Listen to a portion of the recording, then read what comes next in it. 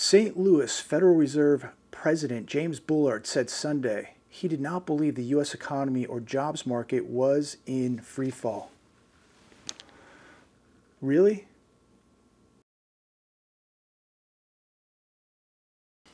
It's Sunday, April 5th, 2020. You, you, know, when you read statements like this, you have to ask yourself are they just flat out lying to us or are they this stupid? Is on CNBC today.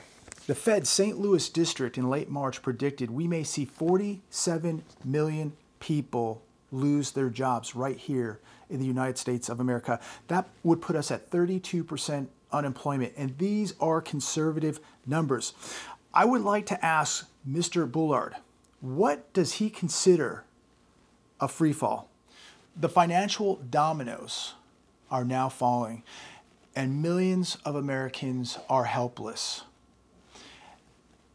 There's no help coming from the banks, there'll be no help coming from the US government. Millions of people are helpless, and they're going to find out very soon just how helpless they are. When the money runs out, when the unemployment checks run out, um, when they don't get the small business loans, they're going to find out just how helpless they are.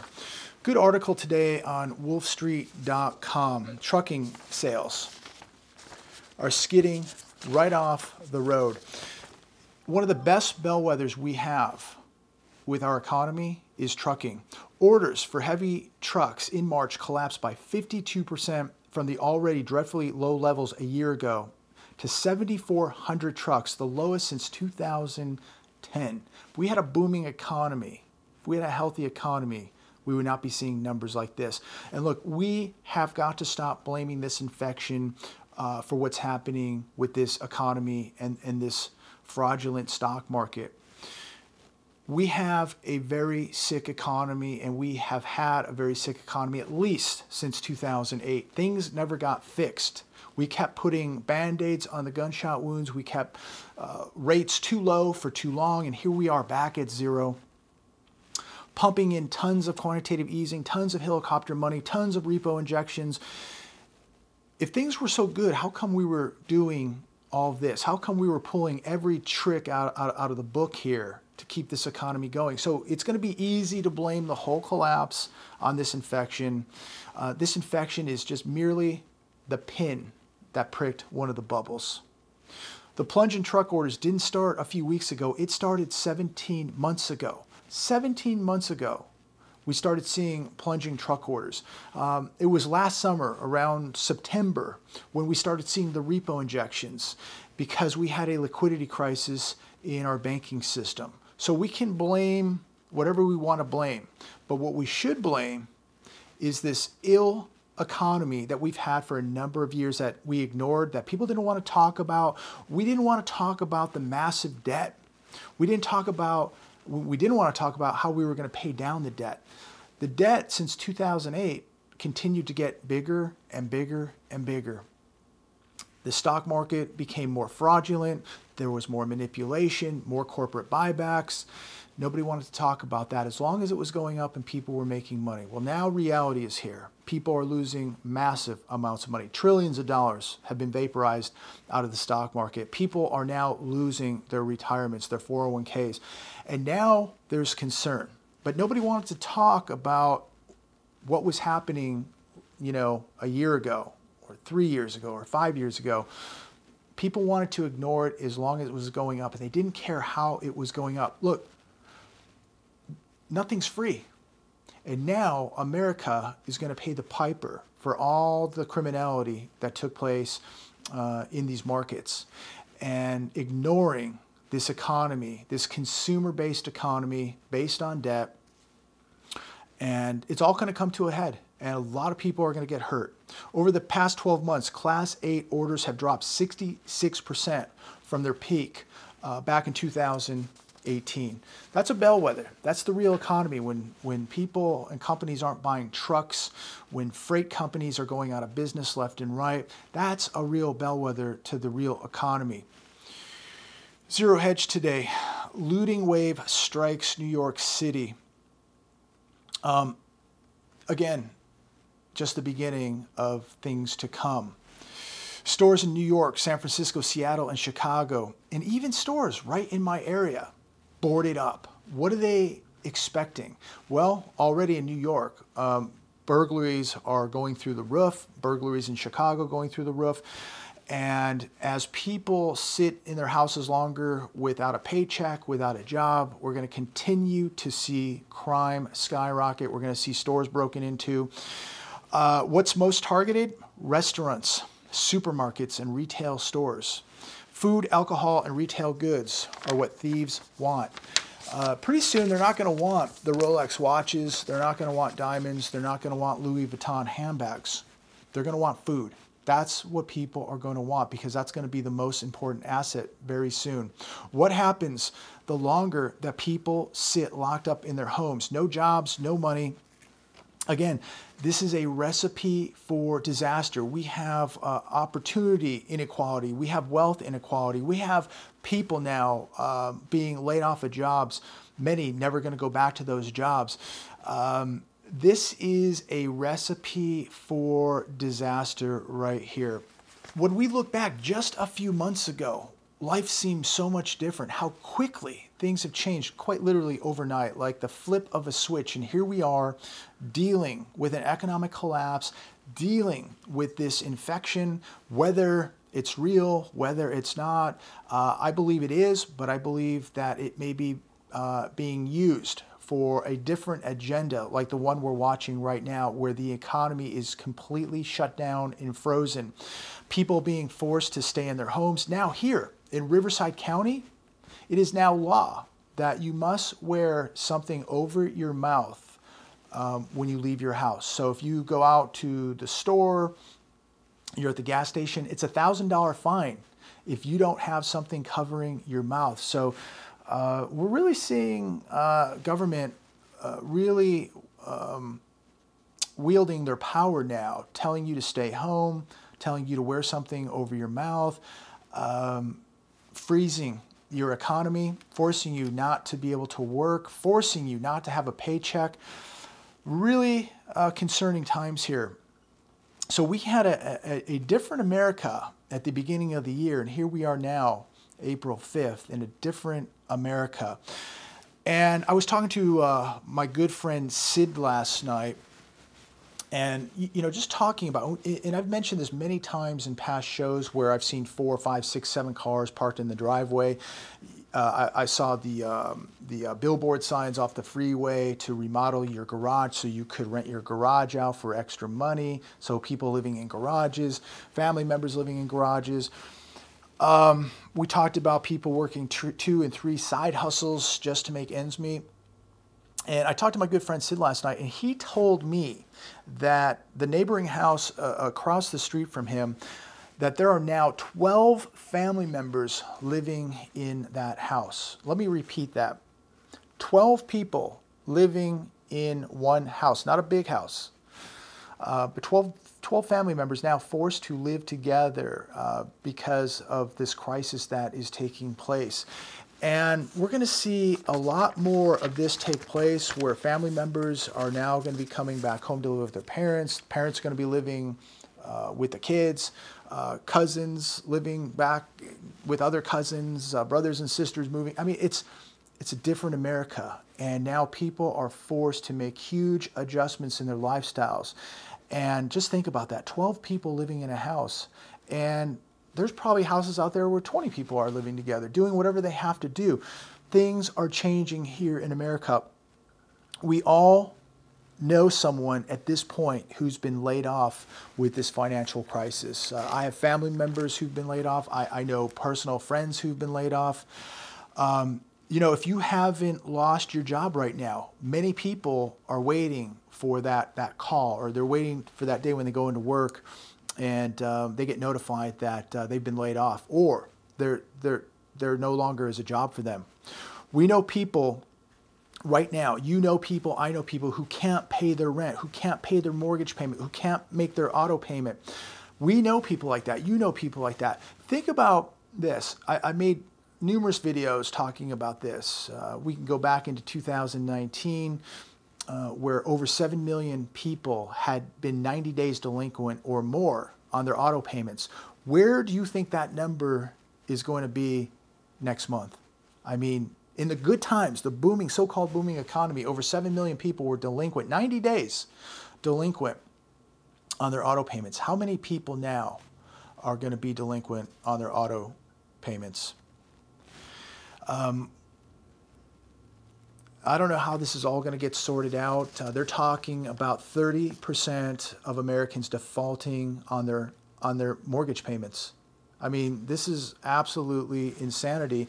I don't know how it's going to get straightened out. We don't even know how long this is going to last. We know for sure April is going to be frozen.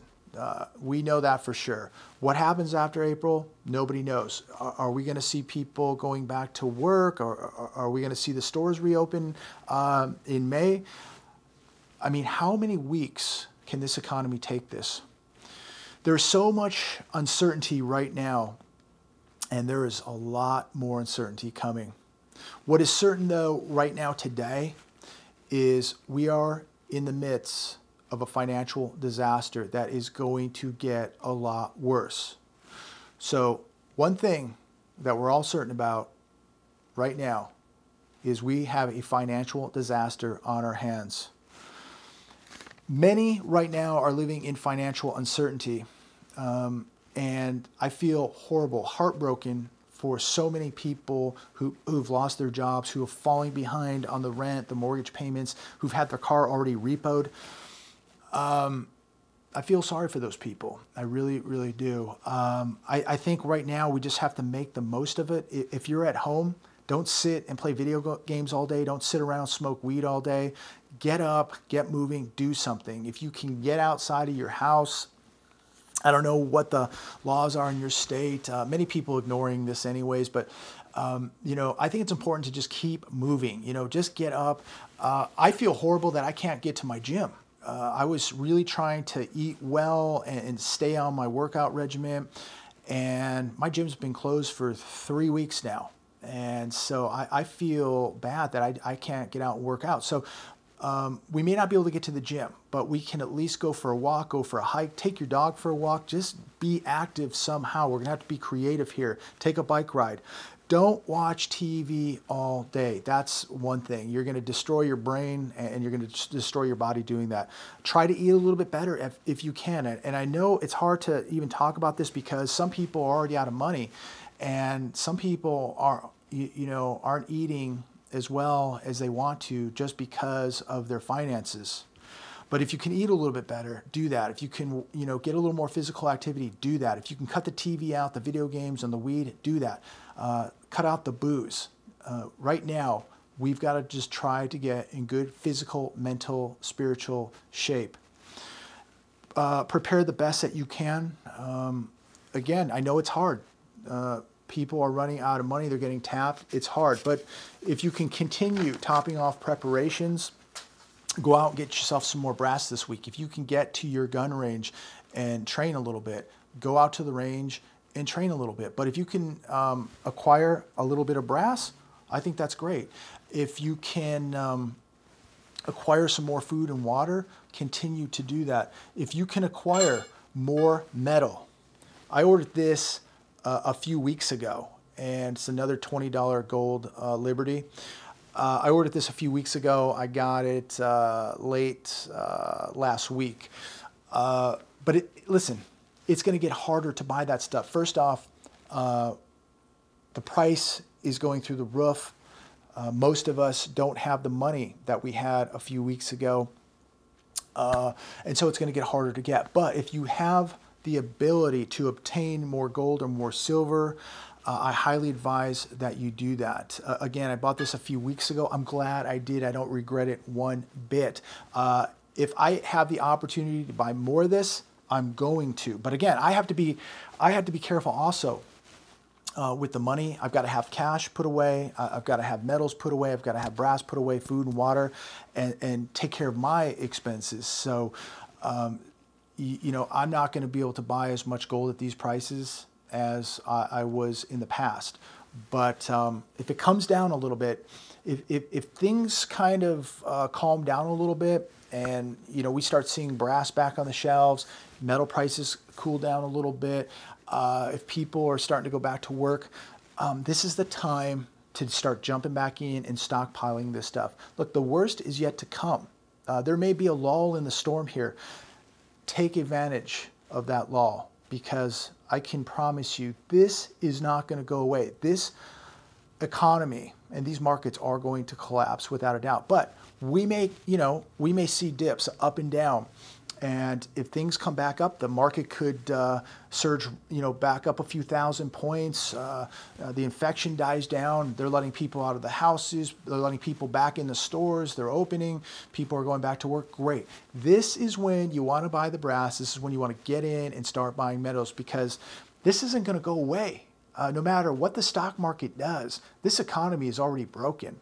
Um, and many people are not going to be going back to work. So take advantage of the calm in the storm. Take advantage of the sales um, because they're not going to last. And I think many of us learned a huge lesson that um, these people who didn't have security, didn't have brass, uh, all it took was a couple bad weeks uh, and look at where we're at. You can't obtain any of this. You, it's so hard to get gold, silver, brass, uh, firearms. You can't get it. And um, we have a real bad habit here in America that, you know, once we have a couple good weeks, we forget about all the bad weeks. We forget uh, about what's happening in the real economy. We, we, we forget what just happened. And, so take advantage. If we get a surge in the markets, um, if people start going back to work and life seems like it's going back to normal, it's not. It's going to be short lived. Make sure you take advantage of this opportunity, get back in, buy metal, buy brass, buy firearms, buy more food, buy more water, and put it away while you can. People continue to ask me um, where I buy. Uh, SD Bullion, I have a link down below. They've been fantastic. Uh, and, and, even with all this calamity, they got my uh, orders out pretty quick and they had uh, at least some availability. Uh, you know, people you, you, know cry about the the um, the uh, premiums. Well, you know what? If you would have bought it six months ago or a year ago or a few months ago, you wouldn't be crying right now. So again, that's why if things die down, prices come down, then you don't have anything to cry about. You need to buy. Um, but again, SD Bullion, link down below. I don't care where you get it. Uh, also, uh, there were some good sales on silver and availability on silver, uh, on rounds and junk silver at my local pawn shop. They were, they were charging 20% over spot, so that was a really good deal, uh, mainly because I had it, and 20% over spot was a really good deal. So that's another place you can look for is at your pawn shop or whoever you deal with online or your local coin dealer, whoever. I don't care where you get it at. I just believe that with what we're seeing taking place and what we know what is coming, you better have hard tangible assets like gold and silver. So I want to leave you with this today. The system that we live in today is broken. The Fed measures have been absolutely 100% inefficient. Now we have small business having to take loans from the US government. This is almost like a loan shark or extortion where the government is going to be in your business, in your, quite literally in your business, in your small business. They're going to know all of your data. They had no problems bailing out the hedge funds, but they offered small business loans. And what's interesting is these banks are borrowing money at zero to 1% interest, right? Zero percent, 1%. And they're going to be charging small business 5% pure loan sharking, uh, pure extortion. And now the government is going to be in your small business, knowing everything you do, knowing all of your data. While they're borrowing money at nearly 0% and charging you 5%. Isn't it interesting how the credit cards, you know, the credit card companies and these banks borrow money for literally zero, and then they charge you 21% on your credit card? I'm to leave it there today. Have a wonderful uh, Sunday evening. Have a good week. Um, my heart goes out to everybody suffering. And look, we're all affected by this. I'm affected by this. You're affected by this. There's nobody that is not going to be affected by this, period. It is affecting everybody. but it's affecting uh, millions of people more than it is me, probably more than it is you, because we prepared uh, for quite some time knowing that this was coming. And, and, that doesn't mean that it's not a, you know, I was right, you were wrong, you were right, I was wrong. It, it, it has nothing to do with that. Um, I tried to warn people, you tried to warn people. Many of you, hundreds of you have written to me saying you've warned family members, friends, got, you got laughed at. People think you're nuts. Now they don't think you're nuts. You, you, know, and we talked about this a long time ago. What happens when these same people knock at your door when they lost their house, um, when they have no food? What, do, what are you going to do? I guess that's a, a, totally different show for another day, but it's something we got to think about. I, I, I, talked about that probably eight, nine months ago. What happens when these people show up on your doorstep with nothing, no food, while you prepared? Uh, these are questions that are going to have to be addressed at some time because reality is here. But that doesn't mean that I don't care about these people, even though they didn't listen, even though they judged me, they judged you, they made fun of us. Um, they're not laughing now. And uh, but that doesn't mean that we're not all in the same boat. We're going to feel these effects also. Maybe not to the extent that the people that didn't prepare. They're going to feel the effects uh, much deeper than we do. But look, they're still Americans. They're still our family members, our friends, our associates, um, and we care. And it's going to really be a stressful time in America, and we're going to see people lose everything. As I've said in the past, people that you know, that I know, we're going to see them go homeless. And it's not about who was right or who was wrong. We still have uh, uh, compassion for people. We still care about our fellow Americans, even though we got judged and laughed at. We still need to try and help people the best that we can. We still need to try to wake people up. Uh, we still need to be examples for people. But again, we still need to try to help people. At the end of the day, though, we are responsible for ourselves and our own families. Uh, you know, just like back in the days of Noah, when he got judged and laughed at and ridiculed and made fun of for building an ark that took, uh, I think, about 100 years. When the rain started coming down, the laughter stopped. And when the door closed, it was game over. And you were either prepared or you weren't. Either you were in the ark or you weren't. And if you weren't in the ark, well, you know what happened to those people. Um, look, many people are going to pay a severe price because they ignored the warning signs. Uh, and, and, I still have compassion for those people, and I, and I do feel bad. But at the end of the day, I have to look out for myself and my loved ones. You have to look out for yourself and your loved ones. That door of the ark is closing, and we're not going to be able to help everybody. God bless every one of you. Thanks for watching. Please share this video. Please give it a thumbs up. Um, if you haven't subscribed, please subscribe. Have a wonderful day. Talk to you soon.